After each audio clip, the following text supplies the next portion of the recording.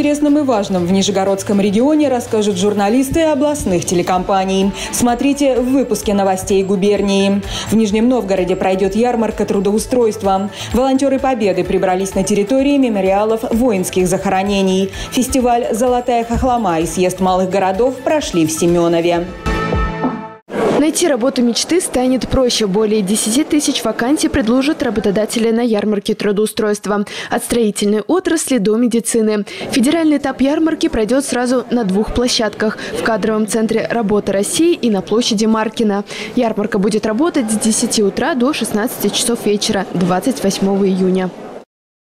Безусловно, бум Нижегородской области – это рабочие специальности. Четверть всех вакансий, представленных по Нижегородской области, это предприятия обрабатывающей промышленности. Конечно же, это они, конечно же, это строительство, конечно, это же медицина и э, педагоги. Вот четыре пласта, на которых мы держимся. Акцию по уборке мемориала воинских захоронений провели волонтеры Победы. На кладбище Марьиной рощи добровольцы собирали мусор и приводили в порядок памятники. Работа будет продолжена благоустройство памятных мест очень важно для нашего будущего поколения, для того, чтобы мы давали пример нашим подрастающим деткам, да, и не забывали про благодарность тем, кто защищал нашу жизнь и сейчас нам позволяет находиться над мирным небом над головой. Это правильно, это здорово, и приглашаем других участников, горожан, жителей Нижнего Новгорода, также помогать и участвовать в этой доброй акции.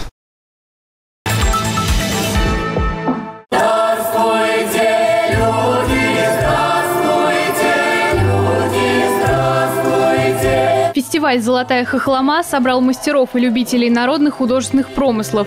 Посуда, сувениры, шали, ручная вышивка и многое другое. Мы приехали из Чкаловска, с центра времен. Села со своей выставкой. Нам очень нравится сама атмосфера, люди, которые живут в Семенове. Все очень чудесно, замечательно. Я не успеваю фотографировать, смотреть, любоваться.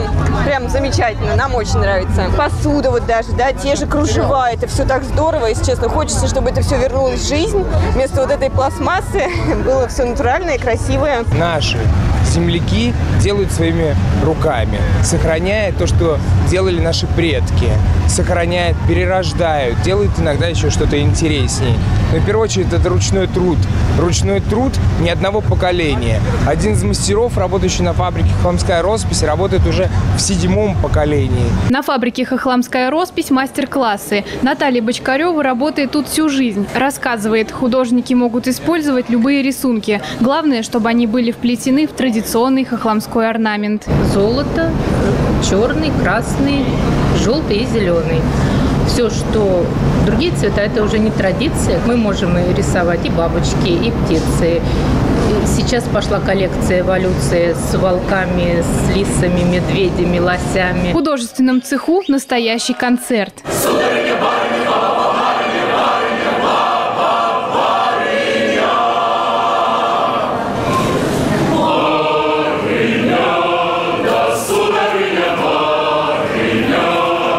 кажется, нет ничего более близкого, наверное, нашему человеку, как русская народная песня. Поэтому, конечно, и мы э, с воодушевлением пели в таком месте, и э, слушатели, я думаю, с удовольствием послушали. Одновременно здесь, в Семенове, подвели итоги третьего съезда малых городов. Это уникальный формат обмена опытом, культура, туризм, патриотическое воспитание для стран, идея которого родилась в Нижегородской области. Молодежь у нас как самая динамичная, они очень быстро начнут реализовать реализовывать те цели, которые и те задачи, которые сами для себя сформулировали. Они правильные, они направлены на развитие отношений, на развитие дружественных связей в экономике, в культуре, в образовании. Я так считаю, что уже прямо сегодня началась подготовка к следующему съезду, к четвертому съезду малых городов. Это будет подготовка к подписанию соглашения между нашими молодыми парламентариями. Это будет э, изучение опыта работы, продумать о стратегии развития именно сельских территорий. Участники съезда успели попасть на фестиваль, а гости из Белоруссии выступили с творческими номерами и представили свои товары на ярмарке. Служба информации Нина Цума, Алексей Завылов.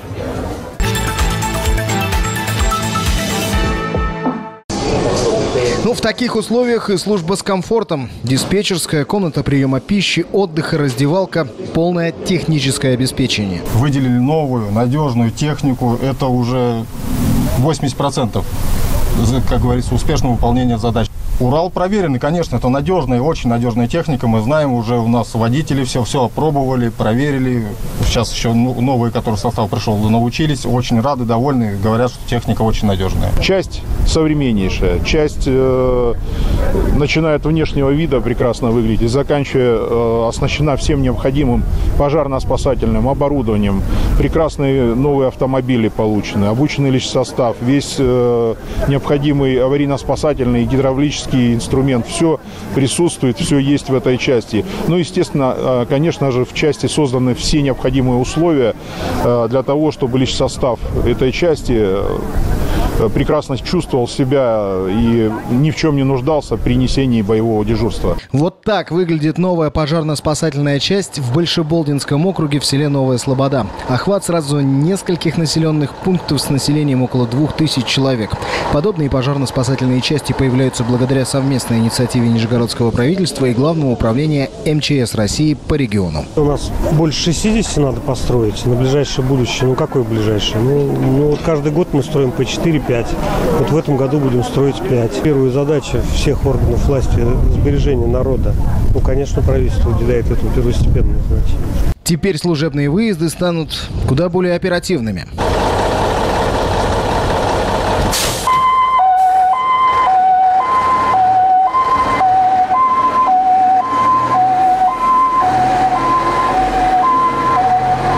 Служба информации Константин Герлинг, Сергей Щеплягин, Ренат Бигбаев.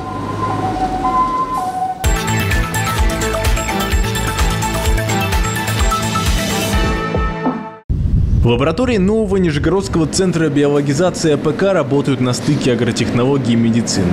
Главная задача центра – внедрить на наших сельхозпредприятиях биопрепараты, чтобы как можно меньше пестицидов, антибиотиков, фосфолом, всякой химии. Работа в лаборатории поделена на четыре основных этапа. Начинается все, разумеется, с первичной обработки образцов, ну а уже реальная исследовательская работа начинается во второй рабочей зоне. Здесь повсюду центрифуги, микроцентрифуги. Это зона молекулярно-генетических исследований. Именно здесь выясняется, есть ли патологические ген в образце. Дальше обнаруженные патологические гены размножают для определения заболевания. Тот же принцип, что и у знакомых нам ПЦР-тестов. Разработаны схемы опытов, и эти опыты уже закладываются просто в хозяйствах руками. Мы э, вписываем биопрепараты, причем таким образом, чтобы э, биопрепараты, добавленные в баковую смесь, работали, чтобы они не погибли от той химии, которая совместно с ними может применяться. И это только одна лаборатория, в центре их несколько. Основали все специалисты Приволжского медицинского исследовательского университета. Они же нашли способ заранее диагностировать лейкоз крупного рогатого скота.